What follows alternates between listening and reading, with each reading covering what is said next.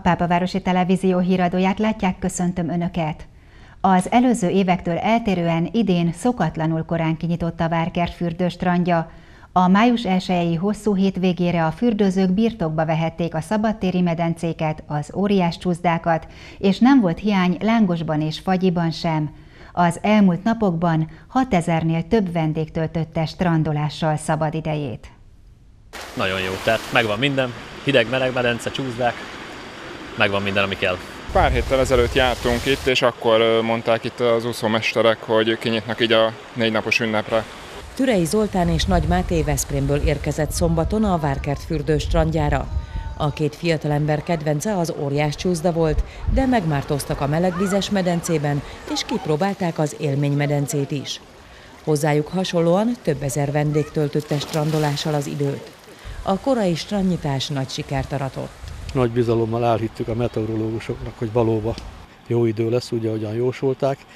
Másodszor ugye az új büszkeségeinket, a tavalyi 1 milliárdos beruházást az idén minél előbb indítani akartuk, és tulajdonképpen egy igen nagy műszaki főpróbát tartottunk a szezon előtt. Az előszezoni forgalomról elégedetten nyilatkozott a létesítmény vezetője. Hát ha péntektől kezdjük a statisztikát, akkor elsőjén estig bezárólag több mint 6000 vendéget köszönhettünk. Ez bőven duplája az ilyenkor szokásos vendéglétszámnak. A Várkert fürdő strandja ugyan a hosszú hétvége végén bezárt, de május 19-én immár véglegesen újra megnyitja kapuit. Egy régi szép hagyományt elevenítettek fel a pápai fúvósok. Május 1-én zenés ébresztővel köszöntötték a város polgárait. A hangulatos programot mindenhol tapsal köszönte meg a hallgatóság. Pápaváros fúvós zenekarának korábban hagyományos programja volt a május 1 zenés ébresztő. Az elmúlt években azonban a ballagás élvezett elsőbséget a szép tavaszi hónap első napján, most azonban korán keltek a fúvósok ked reggel, és a zenekari tagok mindegyiken mondhatott egy címet. Ott zenés ébresztőre kelhettek a családtagok vagy ismerősök, de voltak kiemelt helyszínek is. Zenéltek többek közt a korábbi karnagyoknál, és Rádi Robert kabinetvezetőt is ébresztették. Azt mondta, hogy sikerült, mi keltettük, reméljük így is van. Volt, ahol sikerült, hogy minden családtagot mi keltettünk föl, de sajnos volt, ahol már ébren voltak. A fúvósok magyar és külföldi indulókat játszottak, választani is lehetett a repertoárból.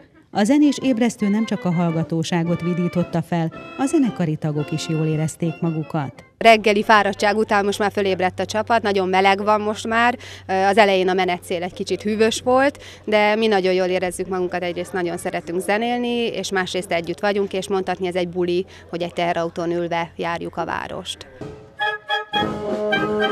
Az Egyesület elnöke külön kiemelte, hogy a zenés ébresztő túrán debütált a csoport új dobja is, mely a régi 30 éves darabot váltotta fel. S bár a fúvósok korábban gyalog járták be a várost, most autóra ült a zenekar, így nagyon sok helyre eljutottak. Erre külön engedélyük volt a rendőrségtől, menet közben azonban nem játszottak. Nem zenélünk, a rendőrség kérte, hogy a kressz szabályai tartsuk be, és azért mivel eleve szabálytalan, hogy mi egy platón utazunk, ezért úgy gondoltuk, hogy csak állva zenélünk, és menet közben nem, mert hát ha veszélyes lenne a fogainkra nézve. A 21 fúvós zenekari tag fogai éppen maradtak a több mint négy órás program ideje alatt. Reggel 7 órakor indultak az Eszterházi kastélytól, s negyed 12-kor érkeztek az utolsó helyszínre, a Várkert fürdőbe. Három diák vett részt az idei tanévben szakmájának országos versenyén a Pápai Gazdasági Szakképző Iskola és Kollégiumának tagintézményéből. A szigorú és hosszú felkészülésnek ezúttal is meglett az eredménye, mindhárom mezős diák a legjobb tíz között végzett, ami kitűnő bizonyítványt és a további tanulmányok alóli felszabadulást jelentette számukra. Káli Zsuzsanna, a lótartó és lótenyésztő szakma kiváló tanulója versenyen tizedik helyezést ért el. Az egyik versenyfeladatban, a fogadhajtásban pedig az ország második legjobbjának bizonyult. Mint mondta, gyermekkora óta erre a pályára készült. Én a lakóhelyemen van egy istáló, és ott vagyok kisgyerekkorom óta. Hát végig ez a hobbim is evégett. A lovak és a szakma szeretete Zsuzsanna tanulmányi eredményén is meglátszott, így vehetett részt az április közepén Kőszegen megrendezett szakma kiváló tanulója versenyen. Ugye lovaglásból kellett egy díjlovagró programot előadni, és ugyanúgy fogadhajtásból is egy díjhajtó programot, valamint voltak olyan feladatok még, hogy lovat kellett mérni, akkor lovak testájait kellett bemutatni, a csontvázban volt egy-két csontot kellett megtalálni, megmondani, milyen csontok vannak. Elsősegét kellett nyújtani lovon, valamint emberen. A gyakorlati feladatokat szóbeli verseny egészítette ki, így az összesített eredmény Zsuzsannát a tizedik helyre juttatta.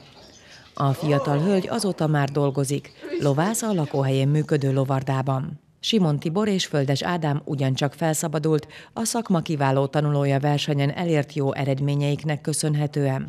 Jóval többet kellett tanulnunk is, meg gyakorlatból is. Hát három hónapig kollégiumban voltunk, és keményen tanultunk délután, délelőtt meg mindig ben voltunk gyakorlaton, és csináltuk, amit kellett. Úgy gondoltam, hogy veszteni nem vesztek vele semmit, úgyhogy csak javamra válhatott, és hál' Istennek vált is. Tibor 24 versenyző közül 8. helyezett lett, Földes Ádám pedig 5. helyen végzett. Volt egy írásbeli rész, volt egy szóbeli rész, az írásbeli részen szakmai számításokat kellett elvégeznünk, szóbelin pedig esetleges, illetve másodlagos feldolgozást kellett hát elmondanunk a tudásunk szerint. Majd utána volt egy gyakorlati rész, ahol az állat szurásától a késztermék gyártásáig mindent meg kellett tennünk. A két fiatalember egykori gyakorlati helyén a Pápai Hús 1913 Kft-nél kapott állást. Mindhármuk felkészítői büszkén és elégedetten nyilatkoztak a szakmájukban jeleskedő fiatalokról.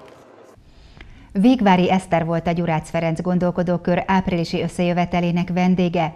A színésznő Budapesten él, de hallgatóságának nem csak jelenlegi munkáiról beszélt, hanem szólt pápai gyökereiről, eddigi énekesi pályafutásáról és terveiről is. Borbé Lajos egykori tanára köszöntötte Végvári Esztert, aki nevetve mondta, hogy a zenével való kapcsolata már az anyamében megköttetett. Aztán gyermekkorát és kamaszkorát is végig kísérte a muzsika. Az Erkelbe, majd a Petőfi gimnáziumba járt, de a legmeghatározóbb élményt a Pápai Musical Stúdió jelentette. M. Varga Veronika vezetésével én azt hiszem, hogy 95-96 tájékán csatlakoztam hozzájuk, akkor ők már egy jól működő, bejáratott csapat voltak, és nagyon örültek, hogy, hogy hozzájuk szegődtem, és a következő műsorukban már részt is vettem, jártunk a Skercóra, ami ugye ilyen színházi fesztivál találkozó, onnan mindig sok-sok díjat elhoztunk, szépek voltunk, meg jól táncoltunk, meg jól énekeltünk, és akkor ennek mindig nagyon örültek. Érettségi után Gornagy Mária színi tanodájába került Végvári Eszter, mikor itt végzett, az Operett Színházba szerződött.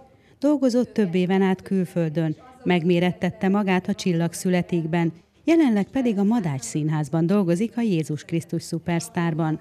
Sok jó feladat megtalálta, de a tehetség nem minden, mondta Eszter. A szakmában való érvényesüléshez sajnos azt kell, hogy mondjam, hogy nagyon kevésbé számít a tehetség, főleg a mai világban. Tehát egy ilyen pff, 10-20 százalék, és akkor ez most egy nagyon elkeserítő, nem? Azon kívül nyilván a szerencse az, hogy az ember hogy tud helyezkedni, hogy jó időben, jó helyen legyen, hogy, hogy tehát rengeteg múlik a szerencsén, rengeteg múlik a szerencsén, és a kitartás nyilván. Eszter, ha nem dolgozik, akkor Perec névre hallgató Jack Russell terrierjével tölti idejét. Mint mondta, most a kutyusával tett séták, kirándulások jelentik a kikapcsolódást számára.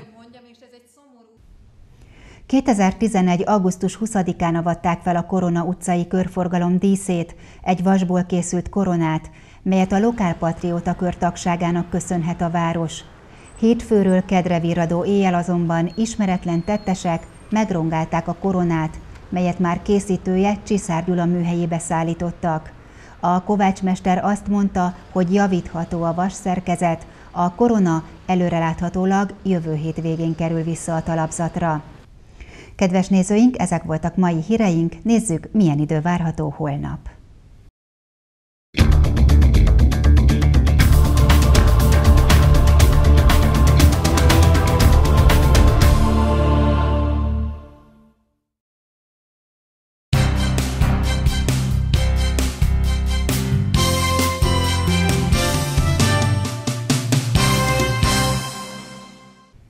Holnap délelőtt még több lesz a napsütés, majd a déli óráktól már többször lesz erősen felhős az ég, és többfelé várható zápor, zivatar, helyenként jégeső, felhőszakadás is lehet.